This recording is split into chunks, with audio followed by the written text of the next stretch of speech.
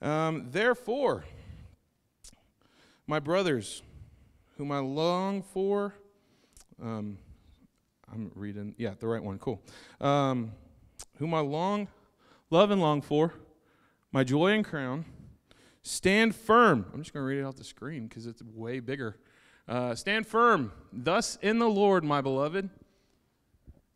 I entreat Euodia and I entreat, I can't, I tried. I can't get it. And I feel bad when I try. So that name, to agree in the Lord. Yes, I ask you also, true companion, help these women who have labored side by side with me in the gospel, together with Clement and the rest of my fellow workers, whose names are in the book of life. So these people are bickering, but we also know their names are in the book of life. So, yes, rejoice in the Lord always. Again, I say, oh, that was easy. Let your reasonableness, that's a long word, be known to everyone. The Lord is at hand. Do not be anxious about anything. Ooh. But in everything, by prayer and supplication, or petition, depending on the version, with thanksgiving, let your requests be made known to God. And the peace of God, which surpasses all understanding, will guard your hearts and your minds in Christ Jesus. Two more verses, that's it. Finally, brothers and sisters, whatever is true, whatever is honorable, whatever is just, whatever is pure, whatever is lovely, whatever is commendable, if there is any excellence, if there is anything worthy of praise, think about these things. Lastly, what you have learned and received and heard and seen in me, practice these things, and the God of peace will be with you. Amen. Nine verses, right? I got nine verses to share. And I was like, man, I only got nine verses. And I read the nine verses. I'm like, whoa. These nine verses cover almost everything we deal, deal with in our day to day lives. I started, I read this, and I read it in our staff meeting when Pastor Ricky gives, gives us our sheets, like with our assignments and stuff. So I read this real quickly, and I was like, oh, cool, okay. And then I got home, and I was like, I read it again. I'm like, oh, whoa. And then I started reading in different versions. I was like, Lisa, you got to hear how this version says this. It totally changes the whole picture. And I'm like, oh man, so I got to read another version. And I'm like, wow, if you look at this, God speaks to us how we need to hear it, right? So I, I have this other Bible that I got. Oh man, when did I get this Bible? I don't know. It's the pages are folded. They have Kool-Aid stains on them, so it must have been college because I was poor, so I made a lot of Kool Aid. Why don't we drink Kool Aid? We're still poor. Anyway.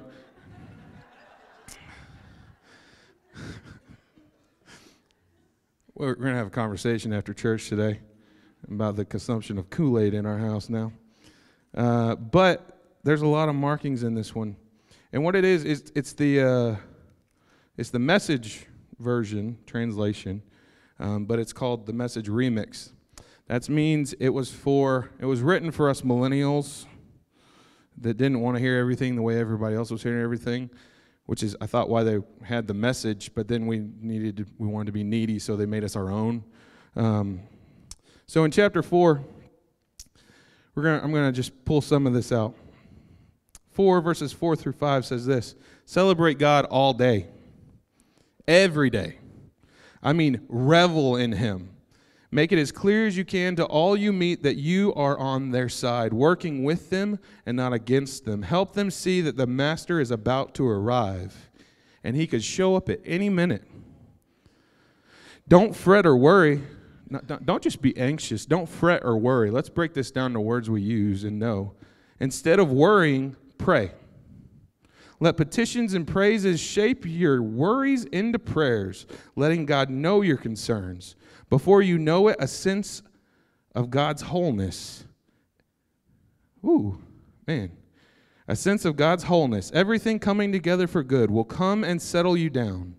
It's wonderful what happens when Christ displaces worry at the center of your life. So I read that version while I was laying in bed one night, and I was I was about to have church with myself. I was about to like have an altar next to my bed because I was like, God, I'm 30. I feel like I work every day, all day. Because also, if you don't know what I do, I'm also like, I have a part time job and a part time job, and I'm self employed. And I define self employed as doesn't eat much um, or can't eat much. Uh, so I'm, I'm self employed. So I spend most of my time working. So my wife and I have these conversations because we, we start to get tired because she works a lot too. She has a full time job. We have three boys, six and under. Woo! And we're always going and we're always doing. So it's really easy in all of these stresses to become anxious, right? What is anxiousness? Does anybody know? Does anyone actually know the definition out, out of the dictionary of anxiousness? Anyone? See, now if I was teaching a young adult class right now, everyone would be on their phone trying to prove to me that they know. And they want to be right and have the answer. So I did that before I came up here and I Googled it. So, haha, yeah. Anyway, so what is anxiety or anxiousness? Anxiety is distress or uneasiness of mind caused by fear or danger of misfortune. Hmm. Have any of you encountered that on a day to day level? Danger or fear of danger or misfortune. I'm going to be real. I'm pretty sure I have anxiety like every day at some instance. Like I drive a 97 4Runner the car is anxiety for me. Am I going to make it to work today? I have tires that look like donuts you bought at the street up the street, okay? Like I don't know if they're going to make it, but I have faith that they will. I pray over my car every day before I drive down the road. I drive like 4 miles.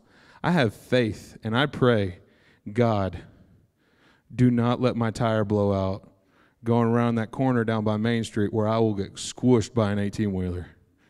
I have fear of that. And you know what? So far, so good. I'm believing that my car will go until it needs to not go. I'm believing my tires will go until they explode. That's how I live my life. I don't know about you. oh, it's a quick story. My grandmother, Miss Virginia, she's not here today so I can tell this story. Her tires start to get a little bit low, worn. Time for new tires. I'm like, they still have tread on them. Like, there's still more than a, a quarter of a, a, a penny's depth on there. Like, why do you need new tires? I believe in donuts, and I believe in doing donuts in the rain. That's why I have donuts. I know how my e brake works. It gets me around corners real quick, okay? Preach. Anyway, so so far we've we've we've read in the scripture that we're not supposed to be anxious, that we are uh, we're supposed to think on these things. But the first thing that they go over in this chapter is that there are two women who are upset with each other. Do you ever get upset with anyone? I'm going to ask a lot of questions, and all you have to do is this or this. Okay? It just lets me know you're listening or pretending to listen. But there are two women that are, are bickering. They're not happy with each other. something in the church happened that they didn't agree with regarding each other, and now they're bickering. And it was so important that at the beginning of this chapter, it gets pointed out. They get called out in order to resolve it. Sometimes, before we can deal with the things inside of us, like our own fears and our own anxieties, we have to deal with the things that connect us to others too. If I have issue with my brother, what am I supposed to do? What? Go to him. Am I supposed to go to everyone else about the issue with my brother? No. That's what a lot of people do, though. I even find myself sometimes, you know, like, Lisa, Pastor Tim's being a jerk. He told me my shoes were not cool. and I need to stick to flip flops. And I could go and I could tell that to everyone else instead of just, you know, hey, Pastor Tim, you said something about my shoes the other day. That wasn't cool, bro. And we're done. And we're done. Instead of going to this person over here, they'll go to that person over there. Did you hear about Pastor Ty and Pastor Tim's feud? It's about his shoes. That's stupid. Like, I said stupid. My, my six year old's not around, right? Okay, cool. Like, we, we deal with things that way. Instead of going to the person that we have issue with, we go to everyone else, and then the whole church gets involved, and then everyone knows because everyone's gossiping, which is not biblical. We're not supposed to do that because that doesn't do anything regarding unity. The first few, cha- few lines in this book have nothing to do really about these women. It says it's talking about protecting unity in the church. So resolve your stuff in order to grow and build the house of God together. That's why they have to deal with their stuff. It's not just because these two weirdly named women have an issue, it's because it's hindering the church. So deal with your stuff. That's your number one today. So, then we move down. And we get to the one that our, our, our, whole series is about. It's rejoice. I'm going to be very honest with you guys. Like, I see some of you sometimes, and I just pray that the Holy Spirit would hit you with like a joystick not like a game controller, but like a stick made of joy. Because you can be having, you have, we all have pretty good lives, right? Our credit scores may suck. Our finances might be in like shambles, but we're breathing.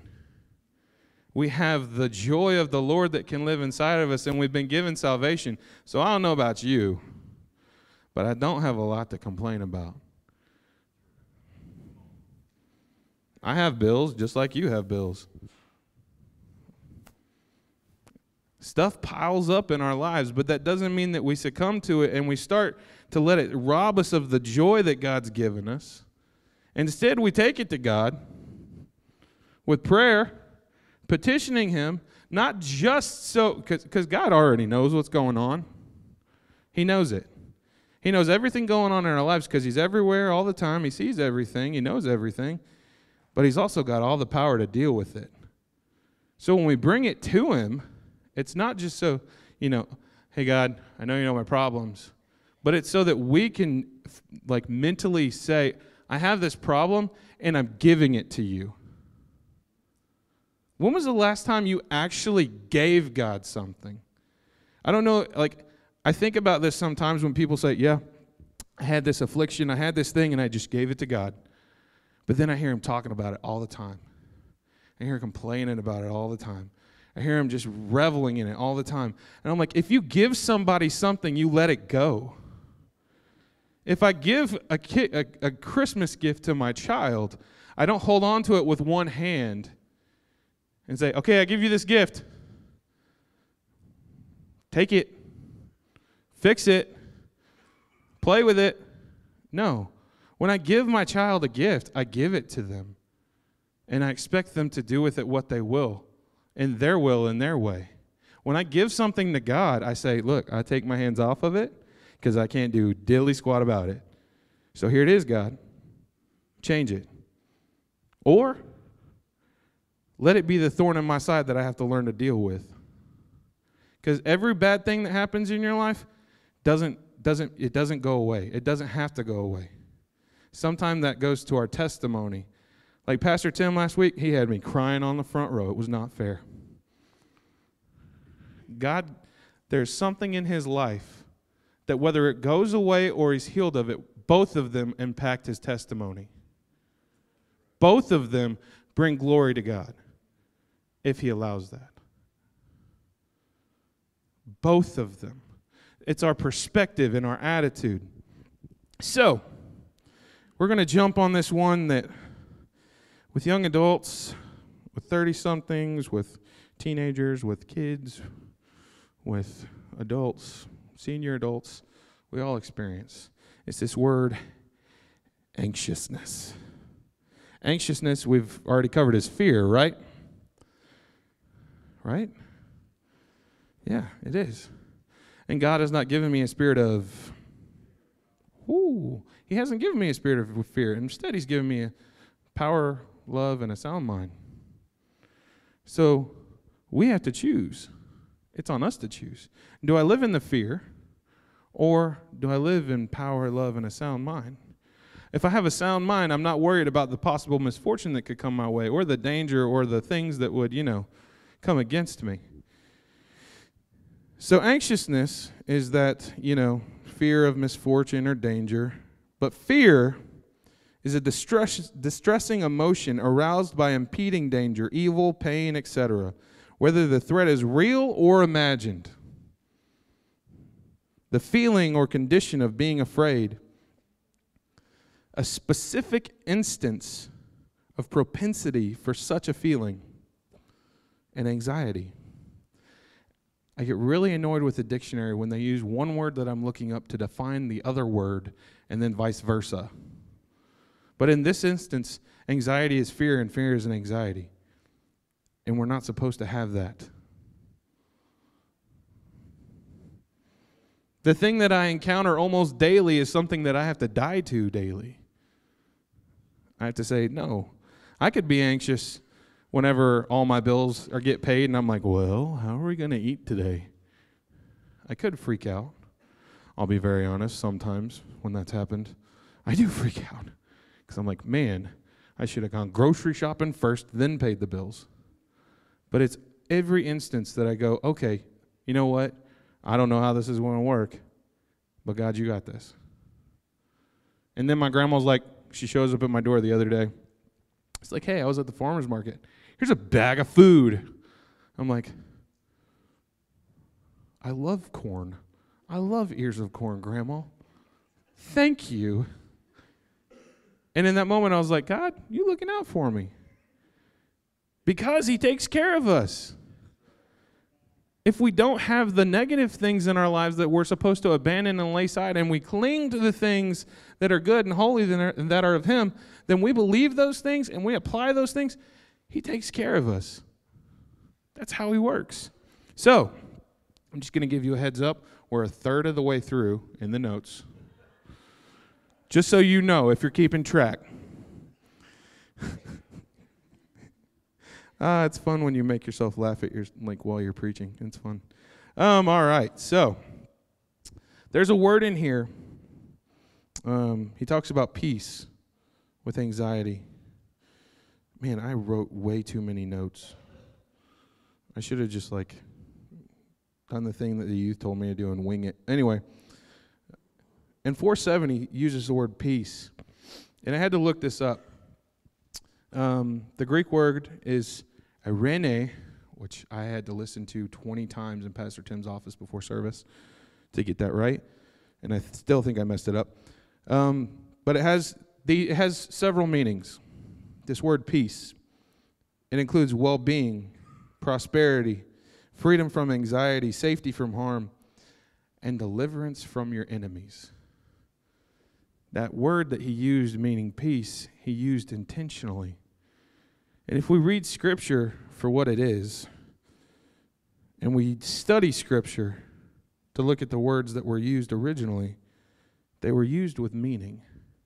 Sometimes, and I listen to a lot of podcasts and sermons, and I listen to a lot of preachers that I really don't think they give any thought to the words that you, they use before they use them.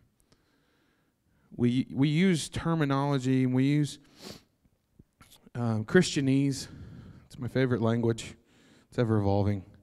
Um, we use terms so easily without even thinking about the power of our words, about what they mean. So I'm gonna, I'm gonna, I'm gonna, I'm gonna tell you this, um, having thought out what I'm going to say, and this ties into the the remainder of the message pertaining to fear, anxiety, everything that you encounter in life, God wants you to encounter these things. Because the things that you come against and the things that you encounter are forces of movement. If I hit, uh, have you ever driven bumper cars? I love bumper cars because I'm a heavy guy and, and I don't bump much. Like, people hit me and I'm like staying still. They're moving. I love bumper cars. Bumper boats are better. Anyway, but I like this because of bumper cars and bumper boats. Everything we encounter in our life is like the other drivers in bumper cars. Comes against us to see how far it can shift us. Comes against us to see if it can knock us around. But that's life. That's how we live. The the way I used to play bumper cars when I would go with my dad when I was little was I would get really angry when people would bump me. Because I wanted to be the bumper, but I couldn't figure out which pedal made me go. True story. Got agitated a lot. But I realized as I got over that when I get bumped, I can either let it agitate me or I can f- wait for it and find the joy in the moment because there's something really funny about getting slammed around by a bunch of little cars on like hover things. It's, it's, it's supposed to be fun. It's not supposed to cause anxiousness, fear, frustration, anger, malice towards the person that's bumping you, which was oftentimes my dad. He targeted me, realizing that now. We're going to talk later. Anyway. But instead of finding all those things and getting mad about it, which it translates to most of the situations in my life, I could get mad about it, or I can see what happens when I get bumped and see where God's trying to take me and see what He wants me to experience. Because I can look at it through my eyes, or I can look at it through my Father's eyes. And what are you trying to teach me in this? Oh man, my car broke down. I can get mad or I can be like, my car broke down. Oh boy, that stinks. Hey, honey, we're going to go look at other cars and not buy a one. right? Last night we went on a, a date. We went to Dairy Queen. Woo! And then I surprised her by going to look at used vehicles. It's like, ooh, date. It's like, so you're going to trade this one in for that? No. I just wanted to look. That's how all live my life. It's like I could do these things, but buying a new truck would bring me happiness for a few days. And then I would realize that it has the same problems that every other car does on the road. It's made to fail. Many things in our life are made to fail. And those are the things that test our patience and our response. Those are the things that bump us. But how do we respond? With anxiety, fear, frustration, anger? Or do we just roll with it and see where it takes us? I love Pastor Tim. I pick on him. Like I told him this morning, he was praying for me and his, his hand was shaking. I said, You'd be a great masseuse at this point. It's great. And I love my brother because we can make those jokes, but at the same time, I love him so much because I can't wait to see what God does with him at this point. It's like, man, just to use a term I use with the young adults a lot, crap happens. Okay? Oh, we're Facebook Live and man. Hi, Grandma. Stuff happens. It happens to us. In this, these verses, we see that stuff happens. But instead of thinking on the negative, we think on the good things. And then the negative things, It doesn't even matter. It doesn't matter one bit.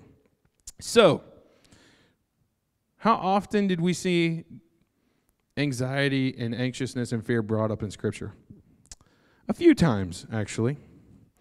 Um, real quick, I'm going to give you a, a side note. This is your free, second freebie of the day. Uh, 4 6, chapter 4, 4 6. The one essential cure for worry is prayer prayer. Who'd have thunk that the cure for everything that ails you is communicating with God? I think a lot of us did. I think a lot of us have forgotten that, you know, if something's wrong in my life, I can gripe about it. I can tell everyone in my social circles and Facebook, Instagram, Twitter, Snapchat, pretty much everywhere. I can gripe about it to everyone and let them all know how everything is awful in my life. Or I can just say, God, this is messed up. Can you take care of it? And bring it before Him. Because in reality, the people around you can do very little about your problems. The creator of the universe can take care of everything. If we can have faith like a mustard seed that can move a mountain, you know where that power comes from? God. I can have faith like a mustard seed in Facebook, and it's going nowhere. Not a one thing can be done. I can have other people complain about it with me. You know, it's nice to have people in your boat, right? Unless it's sinking. We, uh, Uh, my job is social media every day. I do it. I help with our church. I'm the social media guy for the First Baptist Church. That's what I do. I consult with people on how to better use social media. And lately, I've been feeling really guilty about my job because I'm trying to get people to convey who they are and how good they look when they don't really do that. We convey a lot of messages that we aren't really who we are. We convey a lot of messages that aren't don't really convey what we believe. I think that if we took the time on our social media to be transparent and real, I think it might actually change social media. If you use social media for a tool for ministry, not like, hey, we're going to post a scripture picture of the day, but like testify of what Jesus is doing in your life. Like, oh my goodness, my leg was broke, y'all, and now I can walk. Man, I would love to read that 20,000 times. Not uh, like I love you guys. I love people, but I'm so tired of bickering and frustration on social media. I'm just I'm just venting for a second. Y'all can take it. You can make me run in my sneakers after church. That's fine. But that's not we have resources that where we can speak in the people's lives all over the world. All over the world. People can look you up because you don't know how to turn your privacy settings off. And they can see what you're posting. And what are you conveying to the people who have no idea who your God is and what you believe in? Just a thought. So, Matthew chapter 6 and Luke 12, they say the same thing. Well, most of the Gospels say a lot of the same stuff. So I'm going to read you Matthew chapter 6 real quick. It says, in my Bible, it says, the title is Do Not Be Anxious. How profound.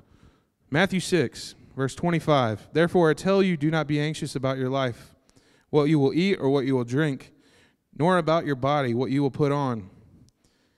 Is not life more than food and the body more than clothing? Look at the birds of the air.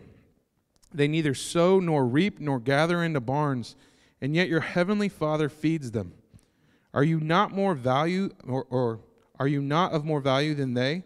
Verse 27 says, And which of you, by being anxious, can add a single hour to his span of life? Have you figured out how to do that yet? I haven't. 28. And why are you anxious about clothing? Consider the lilies of the field, how they grow. They neither toil nor spin. Yet I tell you, even Solomon in all of his glory was not arrayed like one of these. But if God so clothes the grass of the field, which today is alive and tomorrow is thrown into the oven, will he not much more clothe you, O you of little faith? Therefore, do not be anxious, saying, What shall we eat?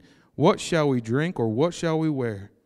For the Gentiles seek after these things, and your heavenly Father knows that you need them all. But, I love that word in the Bible. But seek first the kingdom of God and his righteousness, and all these things will be added to you. Therefore, do not be anxious about tomorrow, for tomorrow will be anxious for itself. Sufficient for the day is its own trouble.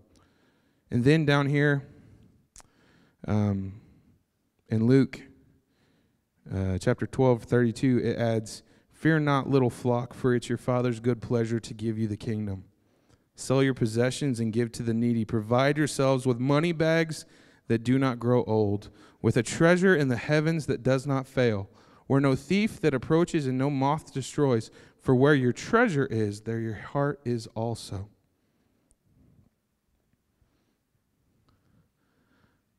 I read all these verses. I was working on this. I've been working on this for a while, but I got really heavy into it Friday and Saturday. And I read these verses and I'm like, God, I feel like those are the three things that I'm always dealing with or struggling with or hearing about. What am I going to eat? What am I going to wear? How am I going to make it? And it says, Seek first the kingdom of heaven, and all these things will be added to you. It's really simple, right? In my head, it's really simple. If I don't do this and I focus on this, it'll be taken care of. But is it that easy? No. My wife's a therapist. I know it's not that easy. We had this long on our date last night. We talked about this. He said in our in our brain, we have these responses, right? What was it? Fight, flight, or freeze, right? When we encounter things, when things happen to us, we either fight it, we run from it, or now they added another one, we freeze. We just get stuck in it and wait till it passes. That's how we do deal with things in our lives, right? I don't know, um, maybe not you, but I do. I either fight it, I get mad at it, I come against it, I run away from it because it scares me, or I just let it happen and, you know, it'll pass eventually. But when I think about this in my, my, my physical life, like I, I see the instances where I do that. And then I think about it in my spiritual life. Do I fight? Do I take flight? Or do I freeze? I'm going to be real honest with you. I probably should fight more, freeze and run less. I should probably come against the things that are thrown at me by the enemy more instead of just, you know, okay, well, it's just going to happen, so let it happen. Or just run away from it. Because if I truly embrace the fact that I have not been given a spirit of fear, but of power, the same power that was in Jesus, when you accept Jesus, it's in you. Whoa! Yes, the power that comes inside of you when a lady grabs your jacket. If you are living in that much faith and you believe what he said and you walk it out and you live it out, if a woman that's dealing with an issue of blood comes up, it shouldn't have just been Jesus that could have touched her. It could have been any of the disciples. It should have been. Everyone we encounter, if they have an issue and they come to us and they're like, Can you pray for me? We should live out faith so greatly that in that moment, if it's God's will, it's done. It's not this, it doesn't always have to be this prolonged battle you know why we have such prolonged battles? Because we have so little faith. That's what happens. We forgot to pray. We forgot to give it to God and let it go. And we forgot to take the steps of faith that where he leads us because remember, we're not walking in ourselves. When we walk in ourselves, we can't do jack. But when we walk where he wants us to walk, when we talk like he tells us to talk, when we think like He wants us to think, then we're living like Jesus. Then I don't have to be anxious. I don't. Because I know that He's going to take me where He wants me. I know that He's going to do with me what He wants to do. And I have no fear with that. That doesn't sound scary. That sounds like a really cool ride that I want to go on. I'll be, I'll be very honest with you, though. When I've got sin in my life that I haven't dealt with, when I've got sin that is that I'm letting overpower me, that's making me question everything in my life, so I'm insecure and I don't think I can do anything for Jesus, that's when I feel beaten. That's when I feel like I can't do anything. But when I take it and I say, Here, forgive me for ever letting that overcome me. And I say, God, take it. It's almost like we sing that Break Every Chain song. That's what it's about. In that moment, when you give it away, that weight is not on you anymore. In that moment where you say, God, take the sin out of my life, let me turn to you and go after you. It is a narrow path. We've, we've talked about this. But when your eyes are fixed on the cross, you don't have to worry about where your feet are going. I don't want to worry about the things that come against me in my life. I want to know that they're taken care of. And you know what that requires? Man, I didn't even get through like most of this, but that's okay. It requires faith. Because faith, believing in the prayers that you're praying, you overcome the things that are come, against, come against you. So I'm going to talk about four things real quick. Four things, real quick. Number one, this, this is going to be primarily about anxiety. I just realized that. Anxiety in your finances. Whoever has anxiety in your finances, like for real, show me your hand. Come on, be brave. There you go. My hand's up too. Anxiety in your finances. We see repeatedly that we're not supposed to worry about these things. Yet this is one of the daily things that comes against us because we're so focused on what's in my hand. Pastor Tim tells us all the time that if we live our lives with a clenched fist holding on to what we have, then God won't do anything with it. But when we have faith that God will take it and not just put it where it needs to go, but bring it back in and take care of us, when we live our lives saying, God, here's my finances, like legit, like, here's my finances. I want to be a good steward of it. I'm to be very honest. This is like my weak point. So it's fun to preach right now. Like, I want to be a good steward of it. I want to I want to do with it what you want me to do with it. But that means I have to surrender it to you just like everything else.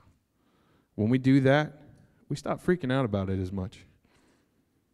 Number 2, second area, these were the four areas that like in talking to people and counseling people and, and just praying for people, these are the four areas where we see a lot of anxiousness and fear. Number two, your marriage. Marriage? Yeah. Whenever I first got married to Lisa, I was very insecure. Like, we would, we would say, okay, this is how our day is going to look. And if there was any deviation from that, I got stressed out. It's like, whoa, you did not say we were going to your parents today. Whoa, I don't know if I can handle that. I can. I love your parents. But at that point in my life, I was so insecure in myself that those were the things that made me anxious. Finances, oh man. At that point in my life, if something bad happened, my day was over. I'm like, oh, I can't handle this. And it led me to this other point where if things came against me that I didn't know how to handle, I also didn't know how to communicate that with her. So my fears and my, my anxieties, I t- kept them to myself. And when you do that in a marriage, it starts to build that wall that divides you. It starts to, the communication, and oh no, we are not perfect at all, but we try because we want to be a godly representation of marriage. But one of the things that I love about my wife is that when I have a hard day or when something just really dumb happens, I know that I can talk about that with her. And even after nine years, we're still working on that because I still have insecurities. So I'm not always going to be like, well, here's all the bad stuff that happened today. There are still things that like when they hit me, I'm like, I just want to take care of that. I don't I don't I don't want to share it because of my anxiety and my fear. But in reality, when I share those things with my wife, she feels so much more secure in our relationship than when I try to hide things and keep them to myself. So, anxiety and fear in marriage. Here's one. This is a fun one anxiety in your parenting. Parenting. Anxiety and how to discipline your children. Should I spank my kids? Should I ground my three year old? No, they don't know what that means. You're grounded from TV. Well, I'll go play with blocks. Whoop de doo. God put us over our kids. Like, no, no, no. Oh, you need to listen to that. God put us over our kids. He did not put us level with our kids. He did not put us under our kids. We are above our kids. I am the priest of my household. That means I'm the top dog. And I have to deal with them because I'm responsible for them. We have, oh man, I encounter so many people, not people here, out in the world, and she does more than I do because she is a child therapist in our public schools. There are some people I want to smack just being real. Because I'm like, you have the greatest potential to speak into a life and you're squandering it. I find great joy, stress, and honor in being a father because that means that I have freebies, three. I have three freebies that I can point to Jesus. I don't have to go out and find them, they're already in my house. It's like, woo.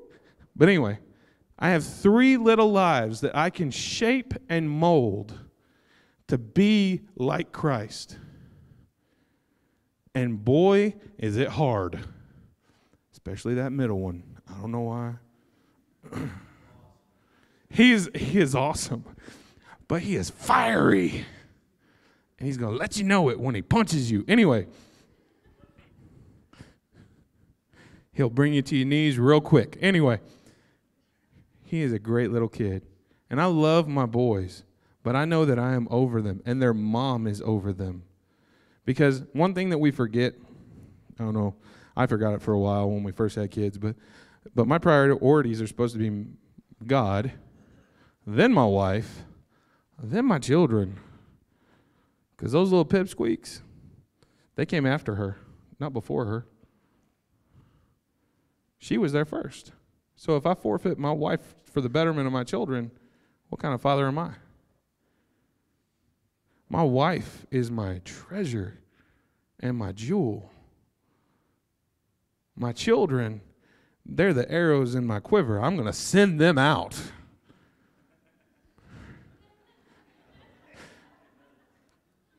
I just got excited. I don't know why. Woo! Anyway, did you feel that when I left? Like, for real, Mom? Ooh, ooh, I'm gonna cry like of joy. I don't know.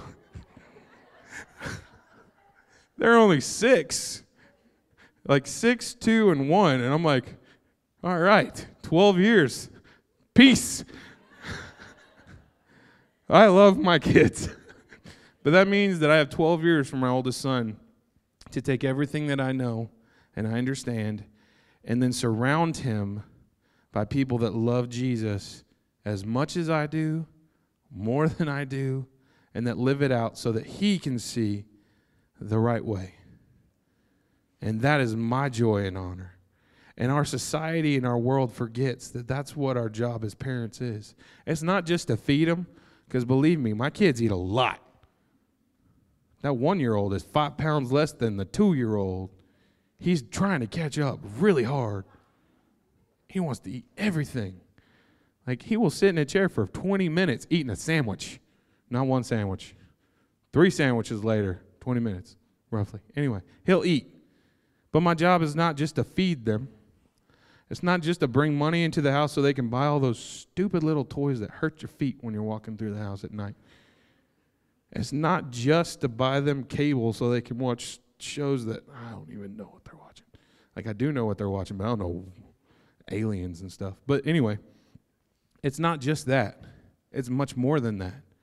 My job is to be the priest that points my children towards Christ. Is there anxiety in that? Yes. But there doesn't need to be. Because if I'm pursuing Christ and I'm doing what He wants me to do, then He will also take care of that. Because He's the protector of my children, not me. Sometimes in my protection, I get in the way of what He wants to do. I'm supposed to guard them.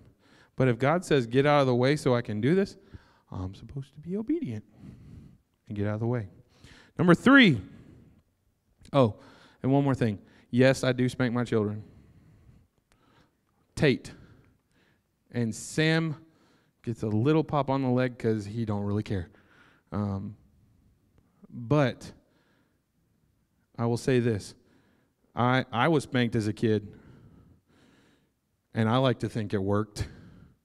You be the judge of that, not me, anyway. Uh, but I do spank my kid because I believe in that verse where they talk about spare the rod, spoil the child. And you can get really deep on that and a study on that. That's great. Good for you. Go read some more. Um, but I like to also take some things at face value sometimes. And I know that as a child, if I was not disciplined, I would not be standing here right now. I know that if my mom and dad didn't love me enough to occasionally, you know, here's the size 46 belt or whatever. My dad's a big guy. It went all the way across my backside. Anyway, if they didn't love me enough to discipline me, I probably would have made much worse decisions in my life. And that's part of parenting. Having the courage to discipline when discipline is required. Timeout works. And Tate, he doesn't really care about timeout anymore. He does care if you take the TV away, and he does care if he gets a spanking. Because he understands what shame is. Sam has no idea what shame is. He's like, Sam, do you want a spanking? Yep. For real, in the bathtub the other day. And I was like, I don't even know what to do right now. Do you want a spanking? Yep. I asked him three times, Do you know what a spanking is? Yes. You want a spanking? Yes. And I was just like,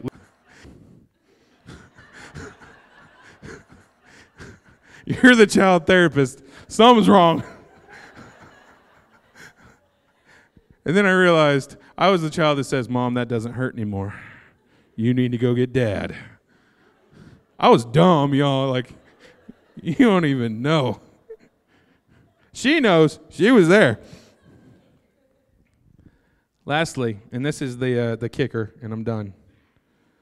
We have anxiousness in our pursuit of Christ, but not just in our pursuit of Christ, but in the, the showing of who Christ is in our lives. I'm going to say something, and this is why I wear the tennis shoes, because um, I see people argue about it online. Um, God didn't create us to be comfortable people. God didn't create us to just stay in one place in life. We see that with the children of Israel because 11 day walk took 40 years. He made them move a lot for us. And, and, and I've come to realize this a lot more lately. Um, when I went to youth camp, God asked me to do something. I was like, no, I'm, I'm not going to say no, but I'm going to ask you a few times to make sure you're, you, this is what you want. And uh, he showed me at youth camp that uh, I'm not supposed to be comfortable. Actually, I'm supposed to be insanely uncomfortable. Because if I get stuck where I am, I might stop looking at him.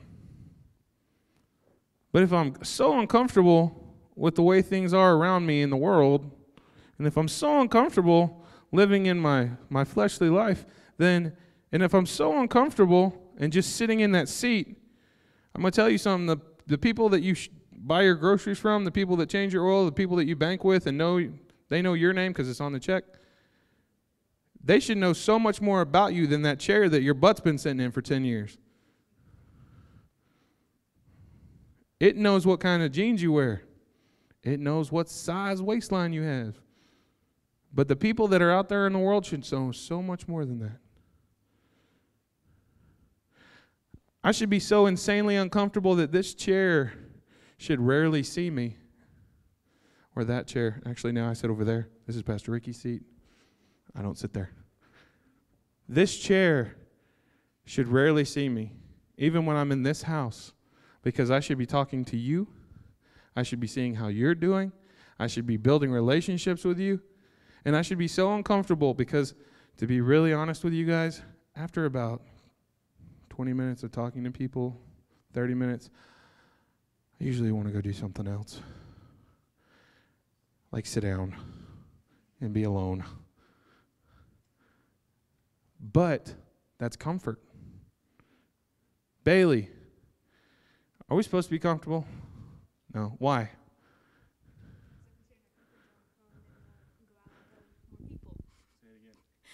If we stay in our comfort zone, then we won't go out and tell more people about the Word of God. Yeah, exactly. I like to think of it this way. Um, I'm one of those people that, that I never really have dreams, um, or don't usually have a lot of dreams, but when God really wants to tell me something, He'll give it to me in a dream, and it freaks me out. But, um, like for real, like freaks me out. Um, but I had a dream a long time ago, and in this dream was a pond. It was a beautiful pond, lily pads, frogs, beautiful flowers, all that great stuff. And it was the church. Was supposed to be the church. And I was like, okay, first night, get this beautiful pond. Like, I want to go there and like set my hammock up and stay. And then the next night, I had the same dream, and the water source was cut off. It wasn't a pond anymore, or it wasn't like a stream with like a water source feeding it. It wasn't fresh water. It became just this stagnant body of water. And then the next night, I had two dreams. This was years ago. First option in a season of dryness, that body of water disappears and has is no longer a source of life for the habitat around it. Now remember, this dream was about the church. So we could dry up. The other option was this you still have a little bit of water that comes in, but the water moves so little that it becomes stagnant. And then the bugs come, and the moss grows, and the algae grows, and it becomes from a pond to a swamp. What was once beautiful has become a place of life, but not positive life. And I was like, okay, God, what does this mean? And it was quite simple. And it was a night of prayer that we had in Hendersonville this was like 10 years ago. And I finally got it. And the point was that if you stay, if you once know the living water and allow it to fill up your house, your pond, and then all of a sudden you start doing things the way you want them done, you start caring about the aesthetics, you start caring about the, the, you know, the things that are really trivial then you'll either dry up and become useless or you'll become a place of stagnant nastiness. And the more I look at the church of today, not our church, we're a good church, right? But the more I look at the world and their viewpoint of the church, I see them as seeing us as the latter. Where the things that were once good have become things of nastiness or a swamp. I don't want that. I want to be a part of a church that is connected to the life stream, where the river of living water flows through this house, where life can come and grow without fear, without anxiety, without worry. Those things have no place in our lives.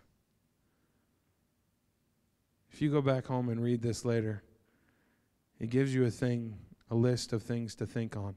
And what's beautiful is in these various translations, they use different words. And I like to go on my phone and I make notes of this is what I'm going to do in the day. So yesterday I went on my phone and I made a list of my reminders that happens daily and it tells me to think on these things. So my challenge to you is think on those things. Don't be happy with sitting in your situation of gloom and despair, fear and anxiety. Actually, get so uncomfortable with it that you just turn it over to God and say, God, take it away from me so I can do what you want me to do. I told, I was in here hanging out with the youth on uh, Wednesday night, and we talked about some numbers for teenagers in Portland. Between the middle school and the high school, there's about 2,400 students. About 6% of those, on a good day, are attached to a church.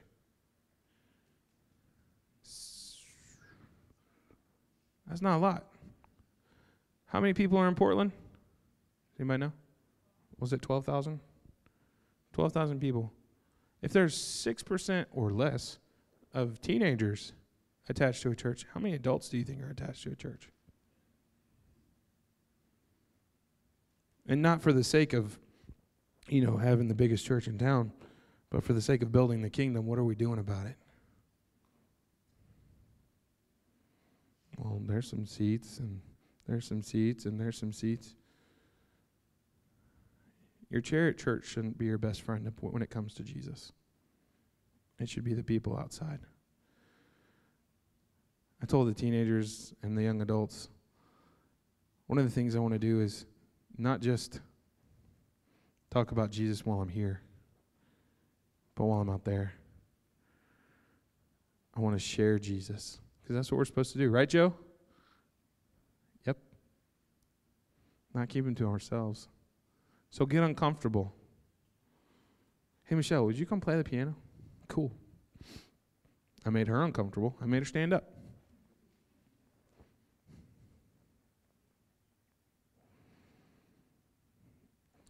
We always talk about altar call as um, this this thing that you do if you have, you know, real problems.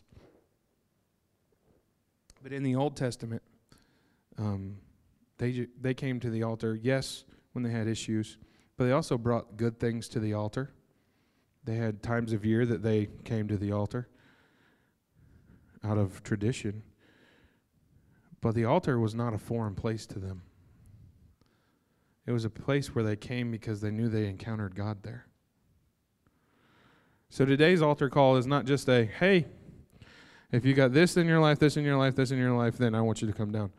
I, I, when, when I talk about altar time, I talk about making a step out of the place where you're sitting and you're comfortable to take a step to move towards God. Yes, God is where you're sitting. But when you stand up and you do something and you have a movement that goes along with it, up here, it's not just, okay, I'm going to sit here in this chair and talk to God. Because I can talk to God right here. Y'all can't see me back there anymore. It's okay. Hope my hair's okay. But I'm not just sitting in this chair, but when I, I have to think about standing up, and then I have to think about coming down and encountering God. Sometimes that's the hardest part for you. And how can you even expect to do anything out there if you can't even get over that part? The one time you experience Jesus when you get saved shouldn't be the only time you come and talk to him. This place, the reason it exists, why there's awkward steps here, is so we can dedicate a place to coming before Him. That's what these are for. They're not just steps, they're places to kneel, to come before the King, to submit the offering. So, yeah, we're going to pray about some things. So, bow your head for me for a second.